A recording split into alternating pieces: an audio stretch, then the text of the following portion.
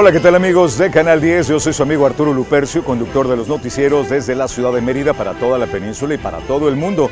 Me da mucho gusto saludarlos y por supuesto desearles una feliz Navidad, un feliz año nuevo, que Dios les dé por favor mucha paz, mucha tranquilidad, mucho trabajo, pero sobre todo mucha salud y mucha unión familiar.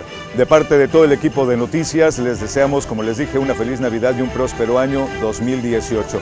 Gracias por acompañarnos y pasen la súper.